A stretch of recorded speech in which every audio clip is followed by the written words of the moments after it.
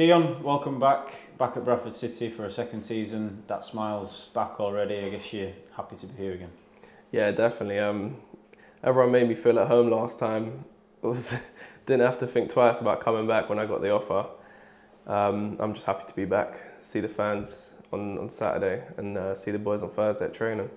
Talk to us about how the moves come about. Obviously, over the summer, you've you've been at Luton, played a few pre-season games for them. What has your summer looked like in that sense, and what has brought you back here ultimately? Uh, yeah, so obviously I tried to um, get myself into the starting team throughout pre-season. Done really well, got a few assists and a goal or two. Um, then sat down with the gaffer a, a week ago, and um, we agreed that the best decision was to go out on loan and get experience that I need to be able to fit into the Luton team. Um, and then Bradford came up, and obviously, like I said previously, you don't have to think about that twice. The experience I had with Mark Hughes last year, and the fans and the team, it was one that you can't forget and you can't turn down again. Um, the gaffer gave me confidence. The fans welcomed me with open, open arms. I had a rough start last time with the injury, but that won't be the case this time. So I'm just ready to go. I guess with the way last season ended as well and the sort of form that we were in towards the end of last season, three victories to end the season, you were obviously in a good vein of form personally as well. It leaves you with a bit of unfinished business coming back and wanting to pick up on that same note and have a successful season here.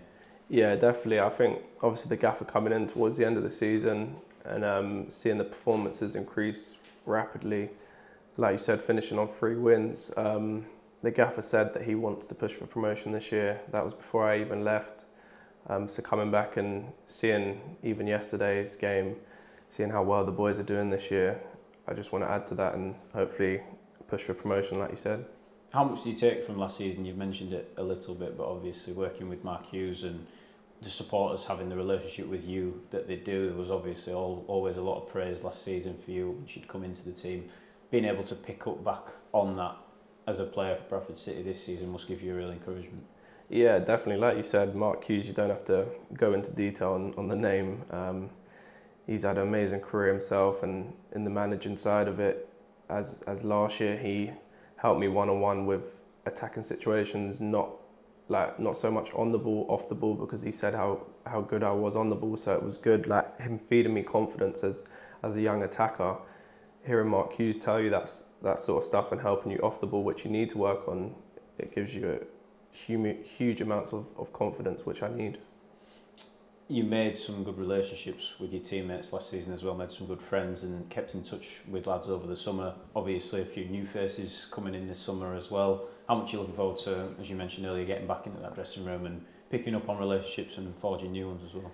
Yeah, so um, obviously Lee Angol and um, Ian, Isa even, we play a lot of PlayStation together, so I've, I've stayed in contact close with them over the past few months, and even um, Jamie Walker, obviously it's sad to hear that he's injured, but these are relationships that you build on and off the pitch, and me going back to Luton, I was always going to keep in contact with the boys.